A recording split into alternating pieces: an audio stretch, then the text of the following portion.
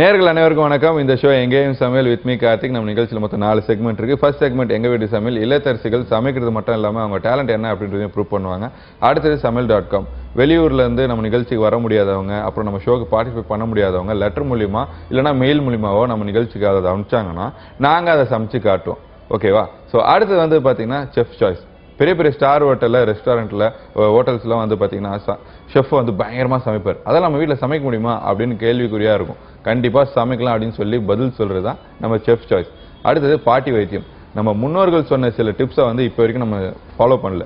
But கண்டிப்பாக follow பண்ணால் பயங்கர ஹெல்த்தியாக இருக்கும். ஹெல்த்தியாக இருப்போம் அப்படின்னு சொல்கிறது தான் பாட்டி வைத்தியம். ஸோ இதெல்லாம் எங்கே பார்க்க போகிறோம் நம்ம செக்மெண்ட்டில் தானே? நம்ம ஷோக்குள்ளே போகலாம் வாங்க. வணக்கம். வணக்கம். நல்லா இருக்கீங்களாம்மா. உங்கள் பேர்? அமுதா. அமுதா. பாக்ஸிங் ஏதாவது பண்ணீங்களா சின்ன வயசுல? இல்ல இல்ல எதுவும் பண்ணல. இல்ல ஸ்ட்ரோக் வச்ச மாதிரி திரும்பினீங்களா? அதான் பக்குன்னு ஆயிடுச்சு. ஸோ உங்க பேர் என்ன சொன்னீங்க? அமுதா. அமுதா. இல்லத்தரிசியா இருக்கீங்க. ஆமா, நான் டியூட்டியில் இருந்தேன். டியூட்டில இருந்தீங்களா? ஊட்டியா டியூட்டியா டியூட்டி டியூட்டி என்ன டியூட்டி நான் வந்து ஒரு கார்மெண்ட்ஸில் செக்கிங் இருந்தேன். கார்மெண்ட்ஸ்ல செக்கிங்கா இருப்பீங்க. செக்கர் கார்மெண்ட்ஸ்ல செக்கிங்னா என்ன பண்ணுவாங்க? என்ன வேலை அது? அதெல்லாம் கார்மெண்ட்ஸில் வந்து பட்டன்லாம் கரெக்ட் ஆகுதா? எல்லாம் ஃபுல் மெஷர்மெண்ட் எடுக்கணும். மெஷர்மெண்ட் எடுக்கணும். டைலர் ஆ. கிடையாது. செக்கிங் செக்கிங்க அளவு எடுத்து தைக்கிறது தாங்க டைலரு அளவு எடுத்து தைக்கிறது டைலருங்க பார்த்தீங்கன்னா நீங்களே சொல்லிட்டீங்க. அது வந்து நாங்கள் எங்ககிட்ட வரும்போது நாங்கள் பார்க்குறது மெஷர்மெண்ட்லாம் பார்த்து செக்கிங் பார்க்குறது செக்கர். ஓ அவங்க கரெக்டா அளவு எடுத்துருக்கானுங்களா அவங்க கரெக்டாக கரெக்டா தச்சிருக்காங்களா? இங்க நீங்க இன்னொரு நாங்கள் பண்ணுவீங்க. மெஷர்மெண்ட் எடுத்து கரெக்டாக இல்லைன்னா ரிட்டர்ன் கொடுத்து திரும்பியும் திரும்பி அதை ஆல்ட்ரு பண்ணணும் நீங்க ஆல்டர் பண்ணீங்க அவங்க பண்ணுவாங்க. அவங்க பண்ண அது எப்படி சொல்லுவீங்க? போயிட்டு அவங்க நாங்க கிட்ட போய் நின்று இதெல்லாம் பிரிச்சுட்டு கரெக்ட் பண்ணி கொடுங்க. இதே மாதிரி சொல்லுவீங்களா?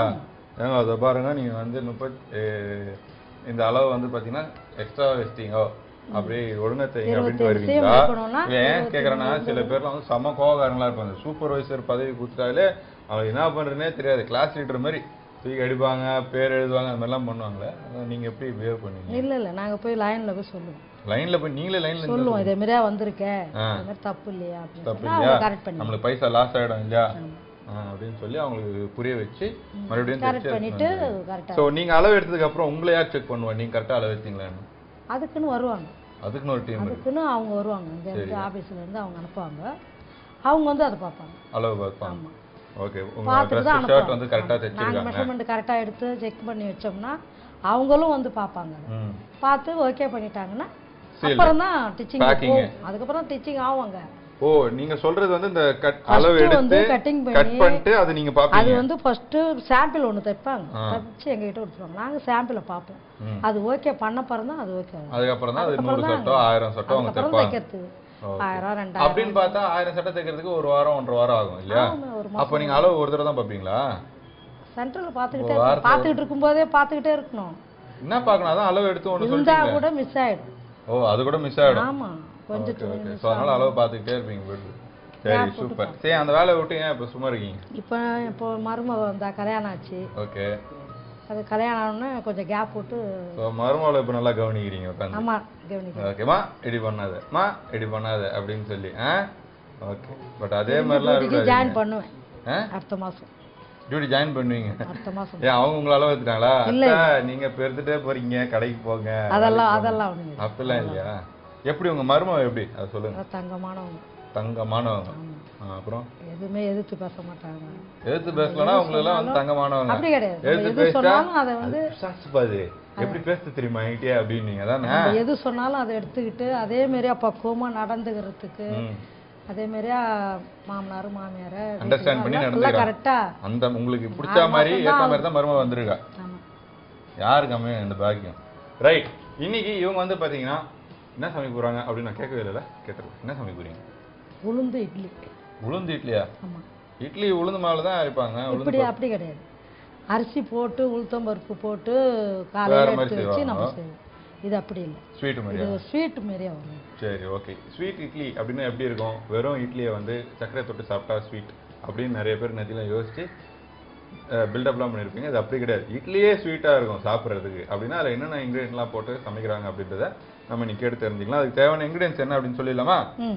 முந்திரி திராட்சை சர்க்கரை ஏலக்காய் உளுத்தம் பருப்பு நெய். ஸோ தேவையான பொருளை சொல்லியாச்சு. அடுத்து செய்முறை தான் பார்க்க போகிறோம் செய்முறை பார்க்கறதுக்கு முன்னாடி இங்கே ஏதோ அரைச்சி வச்சுக்கிறீங்களே. இட்லி மாவா. உளுத்தம் மாவு. ஆ? உளுத்த மாவு அரைச்சி வச்சுருக்கேன். உளுத்த மாவு அரைச்சி வச்சிருக்கீங்க. உளுத்த மாவு அரைச்சா இந்த கலர்ல வரும்? ஆமாங்க. இன்னும் ஒரு மாதிரி மஞ்சளா திக்கா இருக்கும். இல்லை இந்த கலரில் தான் வரும். ஏதோ கூட போட்டு அரைச்சிருக்கீங்க. எதுவும் போடல சக்கரை தான் போட்டுருக்கேன் ஆ எதுவும். அரைக்கல. சொல்லுங்க மஞ்சத்தூள் போடல மறந்து இல்லை இல்லை இல்லை அதெல்லாம் போடல ஒன்று சர்க்கரையும் போட்டிருக்கீங்களா? போட்டுருக்கேன். அதனாலதான் இது வேற மாதிரி இருக்கு. ஐஸ்கிரீம் மாதிரி இருக்கு பாக்க இல்ல? சரி எப்படி அரைச்சீங்க சொல்லுங்க ஊற வச்சு அரைக்கணுமா வறுத்து ஊற வச்சு ஒரு நாலு மணிக்கெல்லாம் ஊற வச்சுங்க நாலு மணி தான் ஊற வைக்கணும். வெயில் தாழ்ந்து. ஆ சரி. ஊற வச்சுட்டு அதுக்கப்புறம் ஒரு ரெண்டு ஹவர் மூணு ஹவர் பொறுத்து நைட்டுக்கு முன்னாடி ஆறு மணிக்கு. விடிஞ்சு காலையில். காலை நாலு மணிக்கு எழுந்துச்சு ஊற வைக்கணும்? ஆமாம் நாலு மணி அஞ்சு மணி ஊற வச்சுன்னா ஒரு ரெண்டு ஹவர் மூணு ஹவர் ஊறும். தூக்கம் போயிடுவாங்க அப்படி என்ன ஸ்வீட்டுன்னு கேட்டுருவாங்க எல்லாரும்? இப்போ செய்யலாம்னா ஒரு பதினோரு மணிக்கு ஊற வைக்கலாம் மத்தியானம் பதினோரு மணிக்கு ஊற வச்சு பன்னெண்டு ஒன்று ரெண்டு மூணு ஹவர் ஊறணும். மூணு மூணு மணிக்கு. ஆமாம் அதுக்குள்ள நல்லா தூங்கிக்கலாம் இது ஊற வச்சு தூங்கிடணும். தூங்கி மத்தியானம் ஒரு சின்ன தூக்கத்தை போட்டு ஏந்திரிச்சு செஞ்சோம்னா நல்லா ஊறினதுக்கு அப்புறம் என்ன பண்ணணும்? மிக்சியில் போட்டு அரைக்கணும். அப்படியே மிக்சியில் போட்டு அரைச்சிடணும். அரைச்சு. அரைச்சி எடுத்துக்கிட்டு. சக்கரை கலக்கணும் எடுத்துக்கிட்டு சக்கரை கலக்கணுமா? இல்ல மிக்சிலேயே சக்கரை போட்டு அரைக்கணுமா? தனியாக எடுத்துட்டு சக்கரை போட்டு தனியா கலந்து எடுத்து சக்கரை போட்டு இப்படி கலந்து வச்சு கொஞ்சம் சோடா மாவு. சோடா மாவு. கொஞ்சம் சோடா வேற என்னென்ன சொல்லுங்க போடணும். அவ்வளவுதான். அவ்வளவுதான். ஒரு சிட்டிகை போட்டு. ஒரு சிட்டிகை சோடா மாவு போட்டு சுகர் போட்டு நல்லா கலந்து வச்சிடணும். ஓகே. மிக்சியில் போட வேணாம் சர்க்கரையை. தனியா வந்து நீங்க கலந்து மிக்ஸ் பண்ணி வச்சாலே போதும். அது மெல்ட் ஆயிடும். அது வாங்கணும். ஆமா அது ஆயிடும். ஆ ஓகேவா சொல்லிட்டாங்க. அது ஆயிடுச்சு. இங்க இருக்குது. ஓகேவா? ஸோ இப்போ இதுல நம்ம என்ன பண்ண போறோம்? இப்போ வந்து நான் இதை வந்து முந்திரி திராட்சைலாம் வறுத்துக்கிறேன் முந்திரி திராட்சை வந்து நெய்யில வறுத்து இதுல போடணும். அவ்வளவுதானே? சரி எனக்கு ஒரு டவுட் நீங்க சொன்னீங்களே இட்லி மாதிரி செய்யலாம் அப்படின்னு சொன்னீங்களே. முந்திரி திராட்சை எல்லாம் நெய்யில போட்டு வறுத்துட்டு நம்ம ஏன் தோசை மாதிரி சுடக்கூடாது? சுடலாம். தோசை சுடலாம். எப்படி வேணுமோ நான் என்ன- என்னென்ன எப்படி எல்லாம் பண்ணலாம்? இந்த இந்த இது வந்து நாங்கள் எண்ணெயில் போடலாம்? இதை வந்து நாங்கள் அதெல்லாம் போடாமல். அதில் எதுவுமே ஜாயின் பண்ணாமல். இதை வந்து அப்படியே ஊத்தாப்பு மாதிரியே ஊற்றினோம்னா நல்லா வரும். ஏலக்காய் இது எல்லாமே ஜாயின் பண்ணாம ஆமாம் வெறும் இந்த மாவு சக்கரை மட்டும் போட்டு ஏலக்காய் கொஞ்சம் போட்டுட்டு. எண்ணெயில் போட்டுட்டோம்னா எண்ணெய்னா எண்ணெய் முழுசு. எண்ணெய் கொதிக்க வச்சுட்டு அதில் கொஞ்சம் கொஞ்சம் ஊற்றணும் அப்பம் சுடுற மாதிரி. அதே. மாதிரியா ஒரு ஐட்டம் சுட்டு அந்த மாதிரியும் எடுத்து வச்சுக்கலாம். ஒரு இது.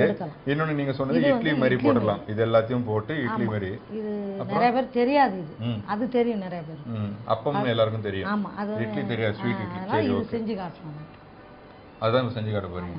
சரி ஓகே அப்பம் எல்லாருக்கும் தெரியும். அதனால அது அவங்க செஞ்சு தர மாட்டாங்களாம் அடம் செஞ்சு தர வேணா இப்போ வேணா இட்லி ஊத்துறேன் அப்புறம் அதுவும் செய்யறேன் சரி ஓகே இப்போ அவங்க வந்து இட்லி தான் செய்வாங்க சரியா? ஏன்னா காலைல நாலு மணிக்கு எழுந்துச்சு இதெல்லாம் ஊற வச்சிருக்காங்க இல்லையா? அதனால இட்லி தாங்க நான் பிரேக்ஃபாஸ்ட்டாக செஞ்சு கொடுப்பேன் எல்லாருக்கும். நீங்கள் அப்பா அம்மா ஈவினிங் வாங்க ஸ்நாக்ஸாக நான் பண்ணி தரேன் அப்படின்றாங்க. இப்போ இது ரெடி ஆயிடுச்சு. இந்த சைடில் நாங்கள் நெய்யில் வந்து முந்திரி திராட்சை வறுத்து மரும வந்து வறுக்கணுமா? இல்ல நான் அப்போ எட்டி பார்த்துக்கிட்டு இருக்கீங்க. நம்ம வறுப்போம். ஓகேவா இன்னைக்கு நம்ம வறுத்து மருமகளுக்கு கொடுப்போம். வாங்க. thank you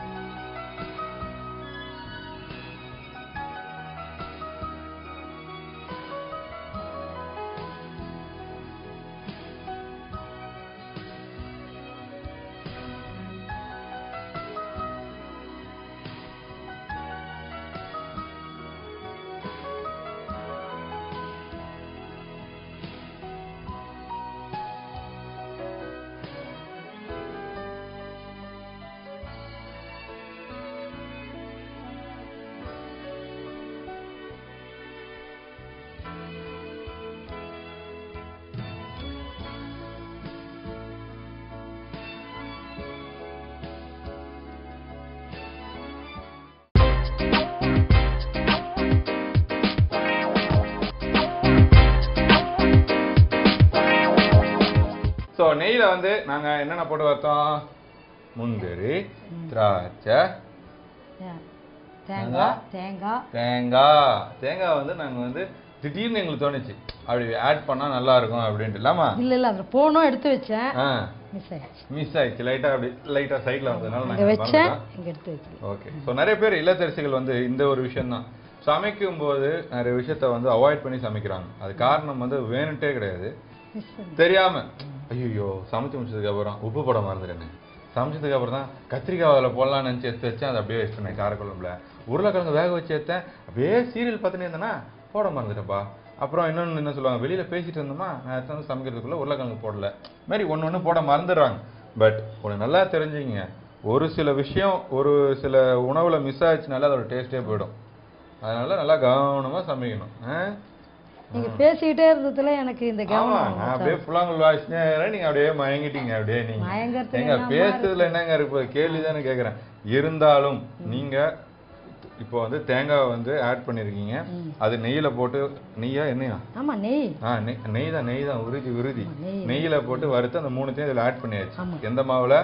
உளுத்தம் பருப்பு நம்ம ஊற வச்சு அரைச்சு அதுல சர்க்கரை போட்டு. சோடா மாவு ஒரு பிஞ்சு போட்டு கலந்து வச்சிருக்கோம் பாருங்க. சரி கலந்து வச்சது எவ்வளவு நேரம் ஊற வைக்கணும்? திருப்பி ரெண்டு மணி நேரம் மூணு மணி நேரமா? மொத்தம் நாலு ஹவர் இது ஊறணும். அரைக்கிறதுக்கு ரெண்டு ஹவர் அதுக்கப்புறம் ஒரு ரெண்டு ஹவர் ஊற வச்சு அதுல வறுத்து இதுல போட்டு இங்க ரெடியா வச்சிருக்கிறோம். ரொம்ப நேரம் பேசுன மாதிரி இருக்கு இன்னைக்கு ரைட்டு ஓகே இப்போ இதுல நம்ம என்ன பண்ண போறோம்? இட்லி ஊத்த போறேன் ஆ இட்லி தட்டுல இட்லி ஊத்த போறோம். ஓகே இட்லி தட்டுல இட்லி ஊத்துனா இது உப்புமா? ஆ உப்பி வருமா. சரி ஓகே எப்படி வருதுன்றத நீங்க நல்லா ஆவலா நெய் எடுத்து கொடுங்க. நெய் நான் தான் எடுத்து கொடுக்கணும். ஆமா கரெக்ட் ம். போடுங்க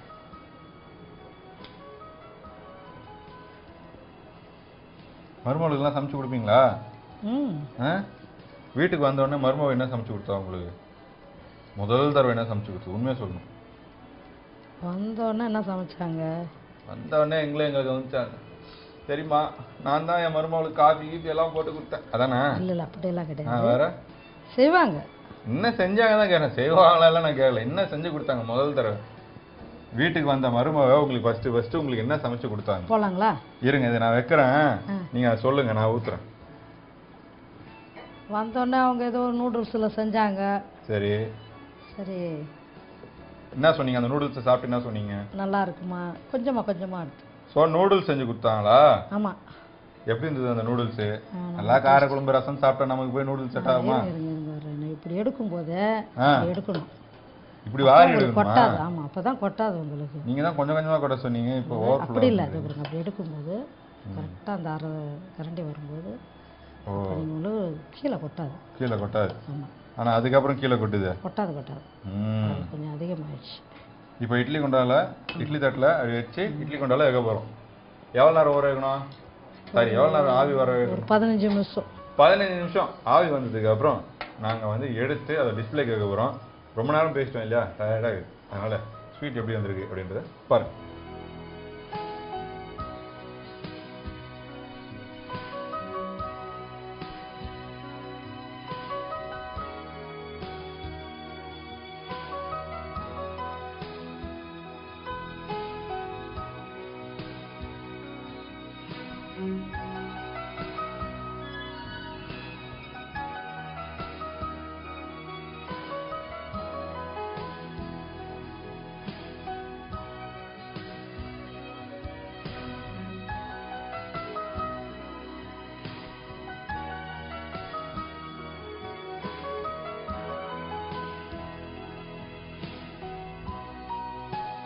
ஸோ செம்மையாக ஆவி வந்ததுக்கு அப்புறம் எடுத்து வச்ச அந்த இட்லி ஸ்வீட் இட்லி எப்படி ரெடியாக இருக்குது அப்படின்னு பார்த்துருப்பீங்க. பொதுவாக நம்ம வீட்டில் இட்லி வச்சு ஸ்வீட்டாக சாப்பிடணும் அப்படின்னு நினச்சா நெய்யில் அப்படியே சர்க்கரையை போட்டு அப்படியே கலந்துருக்கும். அதில் தொட்டு தொட்டு சாப்பிட்டு வா செம்மையாக இருக்குல்ல. இதுதான் நெய் இட்லி அப்படின்னு சொல்லுவாங்க. ஆனால் இவங்க இட்லி வந்து பார்த்தீங்கன்னா உள்ளுக்குள்ளே அதாவது இட்லி மாவுக்குள்ளே இல்லையா?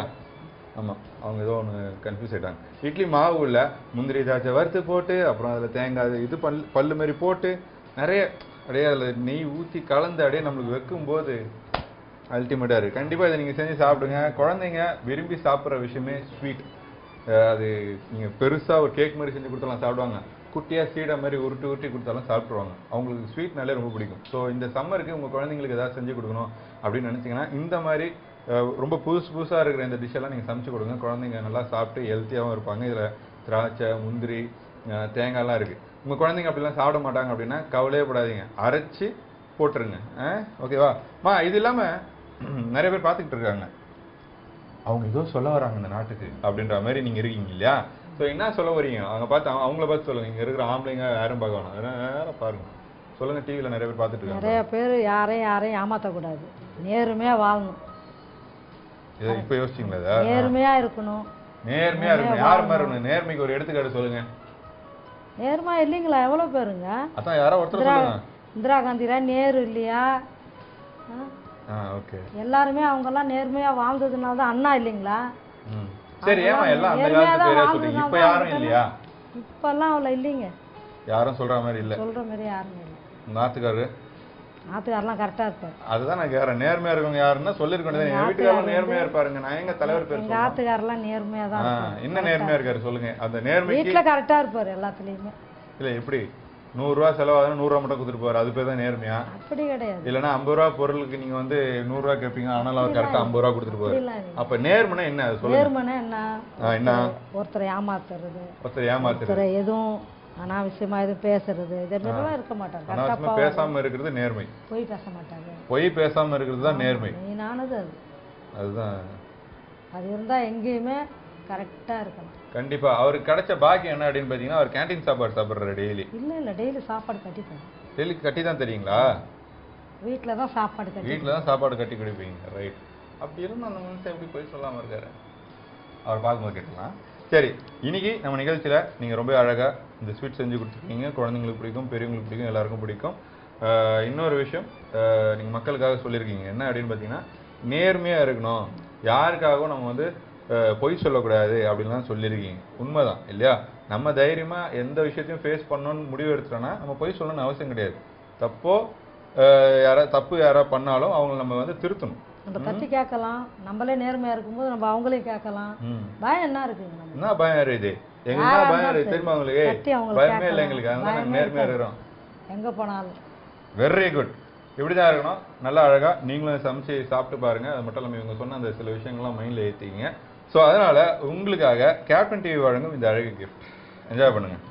வாழ்த்துக்கள். ஸ்வீட் இட்லி செய்யறது எப்படின்னு ரீகா சொல்லுவாங்க. கேளுங்க. உளுத்தம்பருப்பு ஊற வச்சிடணும். அதை எடுத்து மிக்சியில் அரைச்சிடணும். அரைச்சி எடுத்துக்கிட்டு சர்க்கரை கொஞ்சம் ஒரு சிட்டிகை சோடா மாவு போட்டு கலக்கணும். கலந்து அதை எடுத்து வச்சுட்டு ஒரு ஒன் ஹவர் ரெண்டு ஹவர் பொறுத்து முந்திரி திராட்சை ஏலக்காய் தேங்காய் இதெல்லாம் நெய்யில் வறுத்துட்டு எல்லாத்தையும் அந்த மாவில் போட்டு கலந்துட்டு நெய் ஊற்றிட்டு அது மேலே மாவு கரண்டியில் அள்ளி கொஞ்சம் கொஞ்சமாக வச்சு ஊற்றுனா சுவையான உளுத்த மாவு இட்லி ரெடி. எங்கள் வீட்டு சமையலில் நீங்கள் பார்ட்டிசிபேட் பண்ண இந்த நம்பருக்கு கால் பண்ணுங்கள் nine eight four double zero four two zero two five.